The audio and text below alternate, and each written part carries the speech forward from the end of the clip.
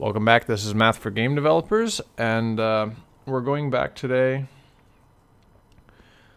to the problem we originally started out with when we started talking about integration, where we have a velocity field here.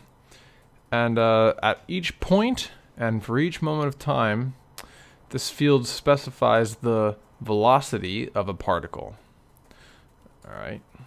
I'm only drawing some of the velocities in, in like this grid, but um, it's the velocity should be specified for every point in this grid for every for every moment in time.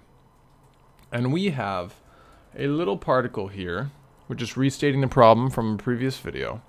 A little particle here that is massless and instantly assumes the velocity of whatever uh, is the result of the grid. And so right here, the velocity is going to go about that way. And then uh, then we have a new position for the particle and then we keep stepping forward in time and we our goal is to find like the eventual path of the particle through this grid. So that's the statement of the problem and last time we used a method called Euler's method to solve this. We said the next position in time is going to be equal to this position plus h, which is our time step, times a function evaluation. We're going to evaluate this, this entire velocity grid as f. We're going to evaluate it at this time in this location. All right. And that got us some decent results. We got a solution. It walked us through our, our little particle, our little uh, velocity grid. We got a path for our particle. Um, but we want to see if we can do a little bit better. And so we're going to, today we're going to develop another method of doing this and try and get a more precise result that we can use to, uh, to do fewer calculations. So let's say that this is the, um, the path of the particle through the field. And the particle is currently sitting at the, let's say this point. All right. We've already calculated all this stuff, and we want to calculate the future stuff. So we, let's see, we're going to do this field evaluation right here and discover the velocity. And here is our velocity. This is our velocity, or also known as the field evaluation. All right. And then we'll, we'll move, actually, let's just say this is the velocity times h, so we've already multiplied it times the time step here, so it's a really small vector. And we're going to move this particle forward in time. This is what this is the picture of what Euler looks like. But you can see that if we do this, we're always kind of lagging behind the curve. This is the this is the problem that we've encountered before. We're we're behind the curve. And then the next time we do this, we're going to do it again. It's going to look like this. And now we're even farther behind the curve. And so we want to try and get some idea of um, of how we can kind of predict where the curve is going to go so that we can uh, so that we can anticipate it and maybe we can cut it off. Like maybe we, we see that the curve is, is coming over this way so maybe we can cut it off and go straight across here and by and by doing that be a little bit more accurate. So there's um, so let's let's see. There's a strategy for doing this. Instead of going the entire length of this velocity curve we're just going to go halfway and we see that when we go halfway, we can we can do another field evaluation. Okay, and we see that the velocity is actually headed this way. Right? So at this point, so this is xn right here. Okay, at this point right here, uh, and let me see, let me, this point right here is going to be xn plus half, one half of hvn, which is this vector. We're going halfway along the vector to the next point. And then at that point, we are going to do another field evaluation. So this right here is a velocity vector after we have evaluated the field again. So we're going to evaluate the field at this point, at this point right here. And this is this is the point. And then we should also, just to be complete, we should evaluate it not at the current time, but at halfway to the next time.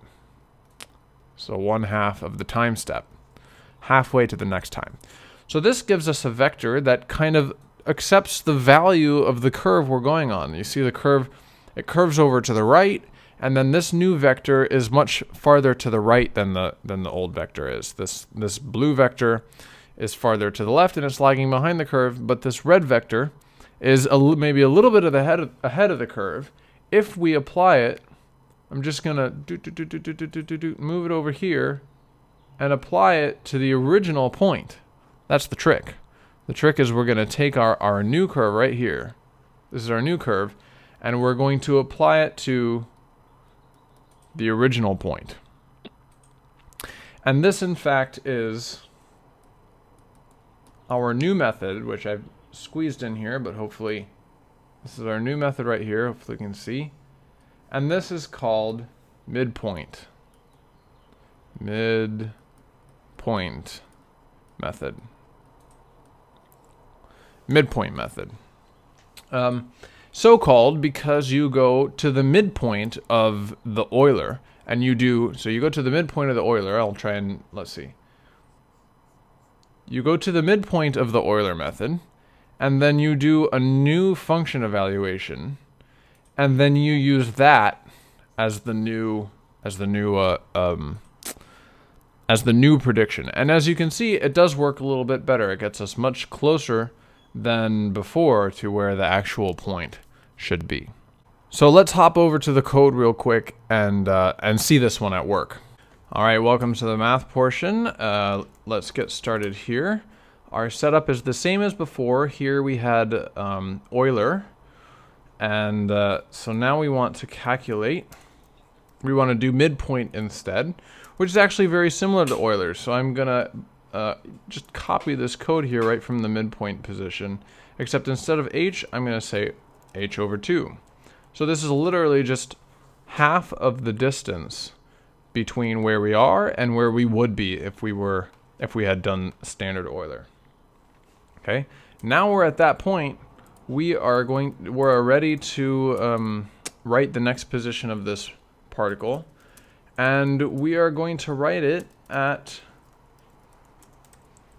a, we are going to sample the velocity field okay using midpoint position at a time halfway between now and our next time step uh, and that will give us a certain velocity and we're going to use that velocity to do a regular Euler so from this point on um, it should look like a regular Euler we have xn plus h times a field sample.